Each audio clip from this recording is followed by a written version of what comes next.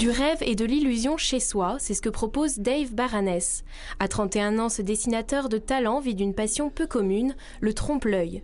Il y a 10 ans, il crée sa propre entreprise de peinture décorative à Nogent-sur-Marne, où particuliers et entreprises font appel à ses services. Dave joue avec les contrastes, transforme les matières et donne une illusion de profondeur assez déconcertante. Toute une technique. Dans le trompe ce que j'aime beaucoup apporter, en fait, c'est une architecture au premier plan, souvent.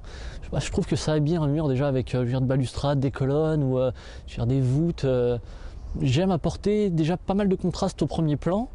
Et puis ensuite, bon déjà, en fait, il y a plusieurs aspects. Il y a soit une perspective bien placée et là, on a l'impression qu'on peut rentrer dans le mur. Soit des fois un jeu de d'un dégradé de couleurs en fait avec le, premier plan qui restera toujours assez assez pas forcément vif mais contrasté avec euh, des, teintes beaucoup plus soutenues que celles du fond, où là on efface un peu plus le dessin, voilà, et, on a l'impression d'une ouverture en fait sur le mur à chaque fois.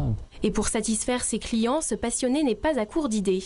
Paysages panoramiques, reproductions de photos ou encore personnages de dessins animés. Le choix est aussi large que celui des techniques utilisées, comme l'ornementation ou la pierre de taille.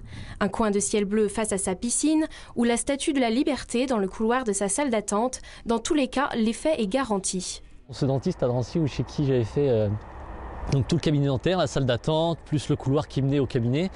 Et euh, donc il rentrait de vacances le soir et on s'était donné rendez-vous avant qu'il ouvre la grille en fait du, cabinet. Et lorsqu'il est arrivé, il était comme un enfant le soir de Noël, euh, tout émerveillé, les yeux ouverts, euh, tout.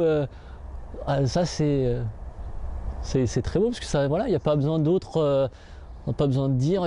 sa réaction suffisait à me à me faire plaisir. C'était c'est beau, c'est beau. Grâce aux bouches à oreille, les trompe-l'œil de Dave remportent donc un franc succès et le peintre prouve que l'on peut vivre de sa passion. Alors, quel est son secret? Je pense savoir dessiner, c'est très important de savoir dessiner, je pense, pour. Euh, ouais, moi, ça m'a. Enfin, voilà, c'est ce qui m'a ce qui m'a le plus aidé, c'est de savoir dessiner déjà à la base et puis euh, arriver sur un mur avec mes crayons et avec mes crayons de couleur, avec mon crayon et ma règle, voilà, toujours euh, un point de fuite, un niveau et, et puis voilà, partir partir de rien et laisser derrière soi comme ça. Une voûte céleste sur un plafond ou une peinture de Dumbo dans la chambre des enfants, tout est possible. Chaque décor est conçu selon la pièce et le goût des clients.